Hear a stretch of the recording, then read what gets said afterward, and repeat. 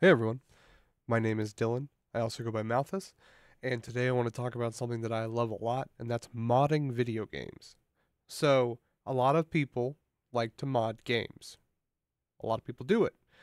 A lot of people use the Steam Workshop to do that. Now, Steam Workshop's awesome, right? The main problem with it is it doesn't organize, and it only allows you to have a certain number of mods at a time before things get kind of out of whack. So what I'm going to do is I'm going to show you a program that I personally use to play something called Living Skyrim, which is my current game that I'm streaming. And uh, it has 1,361 mods, and uh, it works pretty good. Like, I think it's crashed maybe seven or eight times in the 41 episodes that I've streamed. So uh, it's a pretty th- easy thing. What you're going to want to do first, though, before you install anything, uh, is you're going to want to uh, get your Skyrim or Fallout 4 or any of those, and you're going to want to uninstall it, reinstall it with a fresh install, boot it once, but don't actually start a game, and then close it down. What that's going to do, it's going to reset your uh, files for that game, and it's going to get everything set up and in like the default position. So then we're going to go to Wabbajack. Now, if you're familiar with the uh, Elder Scrolls, Wabbajack is the staff that Sheogorath uses. That's what it's named after. It's basically just, we do crazy shit. So you're going to go to wabbajack.org. It is fairly, you know, it's, it's safe from everything I've read. Haven't had any issues. I've been using it for over a year. And uh, what you're going to do is you're going to download it and you're going to put it on whatever your fastest drive is. So for me, I have a solid state one terabyte. That's my C. I put it in there. Okay. I download everything else to my four terabyte D drive, which is a, a mechanical hard drive. So you're going to download and then you're going to launch it. It looks like this. It's kind of terrifying. Don't worry about it. Uh, you're going to avoid these two buttons for right now. You're not experienced, uh, experienced enough to use them.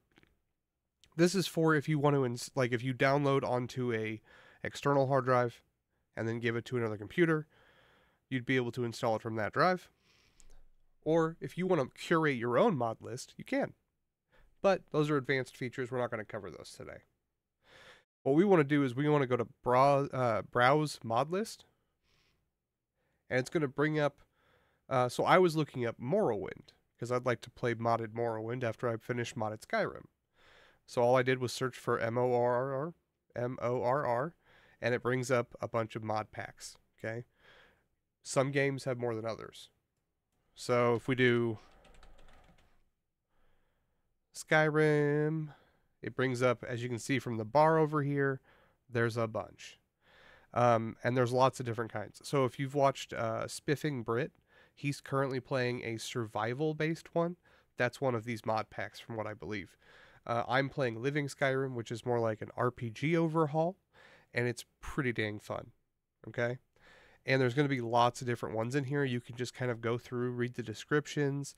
They've all got like different uh, descriptive tags on them. Um, if you don't have a very strong computer, but you still want to try this, go for the lightweight ones. Okay, that means that they are under a certain threshold and they're made to run better on worse computers. Okay. But as you can see, you can just so this is the Living Skyrim. That's the one I use. And what it does when you hover over it is it shows you the size of the files. So for this one, uh, you're gonna have to have like 350 gigs of extra space. So it takes up a lot of room. My total Skyrim file, like with the mods included, is about 450 gigs. Um, and it takes up a lot of room, but I get a lot of enjoyment out of it. There are tons of mod packs for games like Skyrim and Fallout 4. Um, there are less for others, and this has a very active community. So the cool thing is, like if you have an issue, you're going to be able to find a answer. So we'll go back up to Living Skyrim. We'll use that as the example because that's the one I'm most familiar with, right? You click on it. You can click on the little website button, and it brings up the mod list. They have like a wiki style format for everything, and it's a pretty good little format. Load this back up. let's go to this one. This is the audit report. This is the archive for all the changes and all the different mods. Okay. And if you click the little download button. Okay, once you click on it, it might take it a second. Mine was a little glitched up because I have it already. Um, and so it wanted to like update it, but what I wanted was to show you guys how to do this installation. So what you're going to need to do first is we're going to need to go to Nexus. If you aren't familiar, Nexus is like the main place to get mods uh, aside from Steam Workshop. So you're probably familiar with this. They have a free version that's slow, where you can only do mod, one mod at a time, and they have a paid version that is 5.99 euros, so it's a little bit less than 5.99, I believe, uh, US, and uh, that covers a whole month. So, like, let's say you want to enjoy Skyrim, right? What you can do is you pay the 5.99 for one month, you download the mod pack, and you immediately cancel your subscription. It costs you 5.99, but it lets you download all the mods automatically without having to go through and click each one. Now, there are mod packs that are only like 200 mods. That wouldn't be as bad. But you're to want to, if you're going to want to try one of these big mod packs, I highly recommend try the premium for one month. It's worth it. You're get, you're basically getting a full game, like a brand new game or more. Like I've been playing Living Skyrim for I'd say 100 hours or so, and it's just great. Like every time I play it, there's new stuff. So, as you can as you can see, they've got lots of games on here. And Wabbajack doesn't have mod packs for everything. It has mod packs for a lot of stuff especially anything touched by Bethesda, because those are why man. There's so many ads. There's so uh, those things are all like highly moddable. So what you're gonna want to do is you log in here and you connect your account here, and you are gonna go to mod list installation location. You're gonna go in here. You're gonna pick your uh, your drive, and you're gonna do Living Skyrim, where you at? There it is. You're going to do downloads, select folder. Oh, I did that wrong, sorry.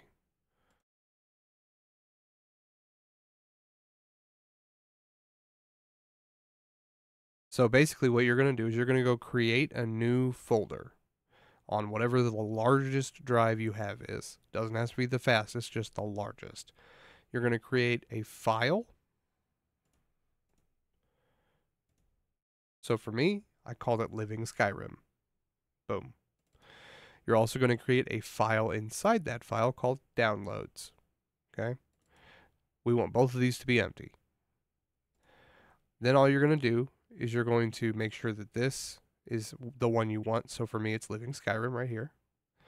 And you are going to do click on the uh, the ellipses, go over to your hard drive, and you're going to go over to your new folder you just made you hit select, it brings it up here, and then you also do the same thing for your downloads folder. Once you do that, this little thing will say download. For me, it doesn't work because I already have uh, files in those folders, so I can't re-download. But uh, you'll be able to do that, and then this is exactly how you have to do it for it to work. If you have issues, there are uh, like there's a README highly suggest that. There's a website, highly suggest looking at that. Discord. You're going to want to look at the the README and the website anyway to get kind of like a feel of what the flavor's like for the mod, because you're going to be spending a lot of time with it. And uh, so like, let's do website. This is all the mod packs that this these people work on, and what they're working on now. So you can uh, go over all their website. They'll have frequently asked questions you can go over and um, support them if you can because these people do amazing work and it's incredibly time consuming to make a mod list like this and especially to keep it up. So like these people have Living Skyrim, which is amazing. They have the Morrowind mod, which is good. Path of the Dovahkiin, I tried to play it. It's it's too actiony based for me. I like the more RPG style. Um, but they have lots of shit. Lots of shit. They have a Silent Hill version of Skyrim. Um, So once you download everything, what you're to want to do is instead of loading, instead of playing your game through Steam, you're to go into your your living Skyrim or whatever uh, whatever mod pack you choose, and you're to go into the main file. You're going to go all the way down to Mod Organizer. Almost all of them use this. It's a, application that is necessary to organize this many mods. So I already have it open, but just showing you. You just click on it. It's a little application. Brings up something like this. This is going to have every mod that's installed. And as you can see, there's a lot. So if you technically didn't want to use something, like you didn't want there to be narrative loot, you could turn it off. If you didn't want like a particular quest line to show up or side character, like I'm playing uh, in the game I'm playing, there's a side character named Recorder. She is a uh, Deadpool esque kind of character where she talks to the player, and some people fucking hate her. So you could go in here and turn her off. And uh, what you want to do is have this done before you start the game. Because whenever you make a character with a mod pack like this, and then you go in and start changing stuff, it's going to have unintended consequences. And I don't want you to have like a corrupted save file. So once you pick your mod set, leave it. Okay, just leave it alone unless you know exactly what you're doing.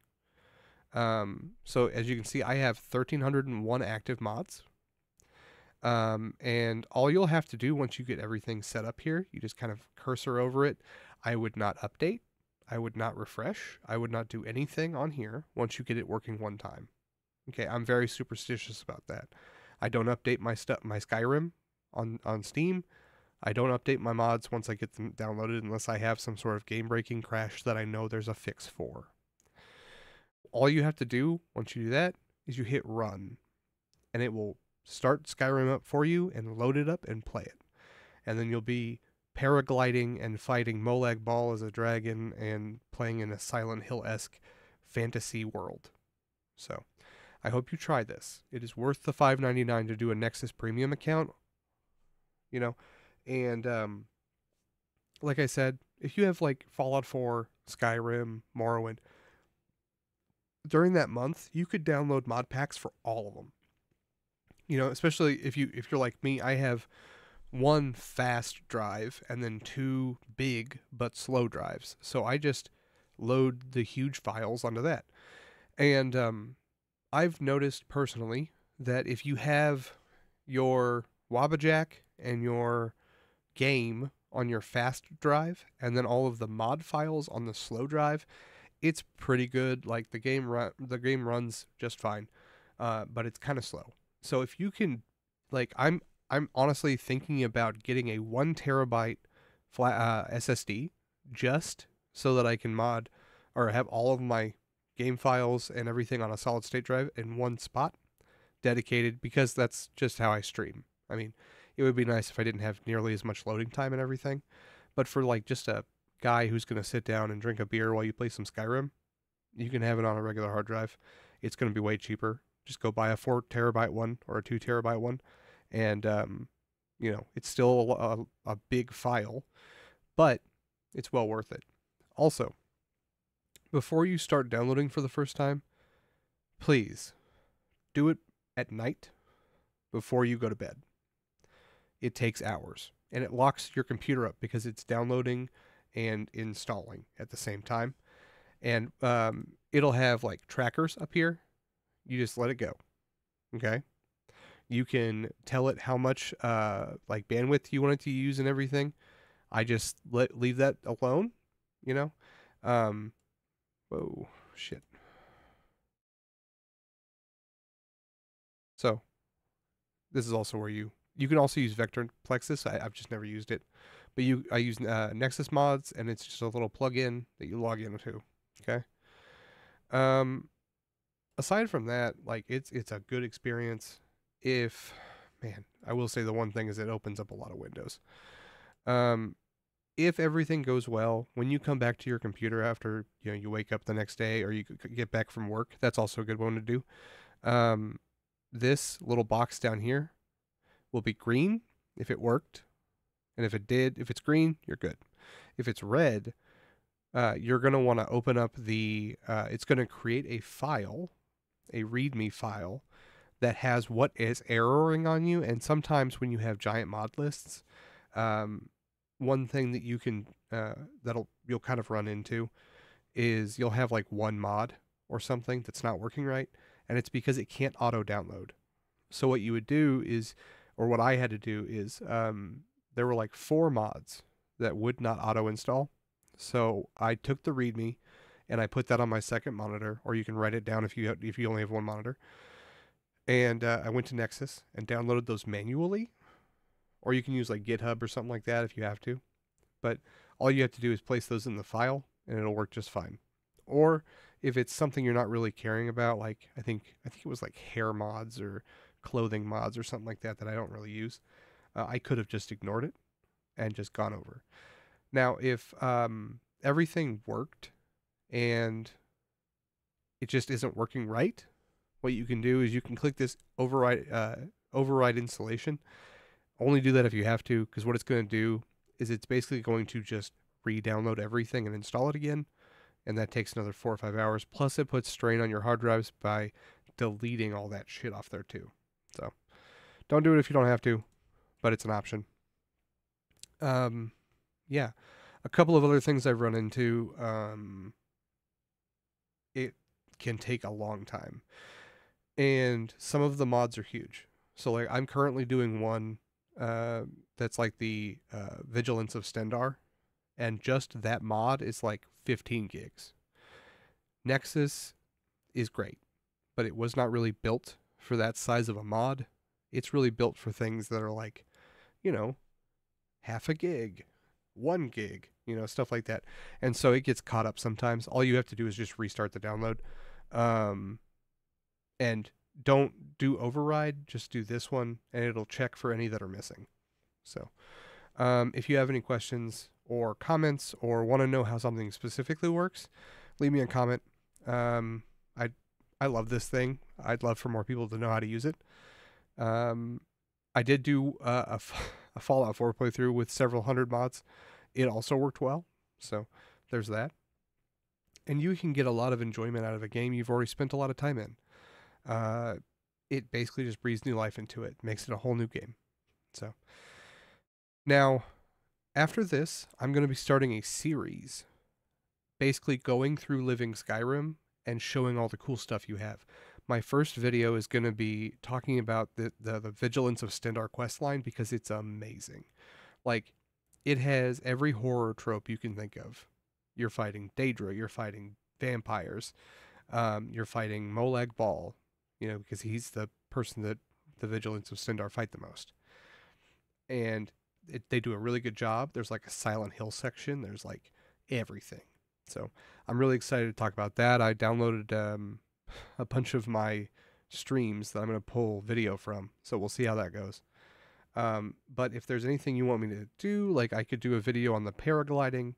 Uh, I'm basically just going to make all this and make like a mod playlist. And so if there's any, if you're like looking through here and you're like, well, what is that? I can look at it for you. Just hit me up in the comments or hit me up on Twitter. I use um, Dylan DaWarboss, so D Y L A N DA Warboss. That's my personal Twitter. Uh, or we have BSD4, the number four, Etsy. And that's my uh, business account for the store we run, Burning Steel Designs. Uh, we sell Warhammer parody stuff. So if you have any questions, hit me up. I am available and I would love to help. So I hope you guys have a good day and a great week.